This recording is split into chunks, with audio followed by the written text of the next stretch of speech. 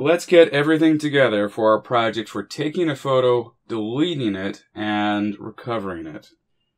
The camera that I'll be using is a basic point and click model. There isn't anything really extraordinary about it, and that is kind of the point. You can use any kind of camera that, uh, that you have, and if you happen to have a fancy DLSR, this process is going to work exactly the same. Now in this case, I'm using a camera that uses a SD memory card, and this is the SD memory card that I use to take my everyday photos. Now, if for some reason you don't have a camera or have an issue using your camera, you can certainly use a USB memory key as well. Any kind of USB memory key is going to work effectively to test the process of, of putting a file on there, deleting it, and recovering it.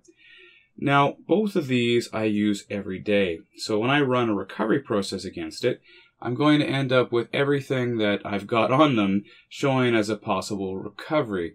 And that's going to be pretty confusing to use as a teaching instrument, and it'd probably be pretty confusing for you as well. So what I'd recommend is if you've got a spare memory card, to use that, uh, and this is one that I'm not normally using, so I'm going to use that as a basis for taking my photo, deleting it, and recovering it. Now I'm going to format this memory card in order to clean it out. And I won't be doing a quick format as you've already seen in the lecture. I'll be doing a full format in order to make sure it's as clean as possible before I execute the recovery process. And that's what I'd recommend that you do as well.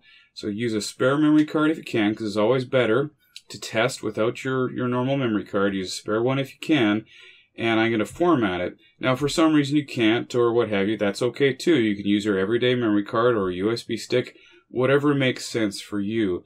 Our recovery process is what's called non-destructive. It won't write to the memory card when it's recovering it. So it can't damage the card uh, or any of the information that is otherwise stored. But it's always, you know, cleaner to test with a memory card that doesn't have anything on it. So this is what I'll be doing. And finally, we need a way of getting the files off of the memory uh, card and into the computer. Now, I can connect this camera from uh, the uh, USB cable that you can see uh, right here. And that works fine because when I connect this camera to the computer that way, it presents the file system and it gives me everything, all the blocks that I would need in order to successfully recover. Now, I actually, though, prefer to use a memory card reader. And here's one that I picked up uh, at a uh, retail electronics store like Walmart. And as you can see, I can connect inside there my memory card straight in. Pardon me. Uh, there we go. That's the one. Uh, and then connect it straight to the computer. Now, your computer may, as pictured, already have a memory card reader straight into it. Your laptop uh, could have that as well, or you may have uh, a uh, connector connector like this.